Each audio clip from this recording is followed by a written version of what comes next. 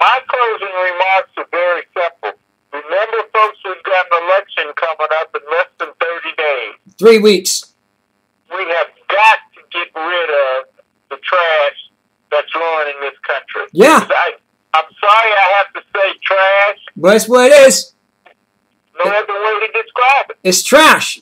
It's garbage. There's no doubt about it. And if you don't like it, I mean, I understand it. Yeah. Let's make this country right. Mm-hmm.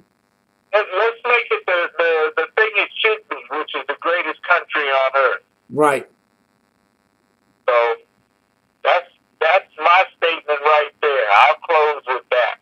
Thank you again, Ron. I'll talk to you again next week.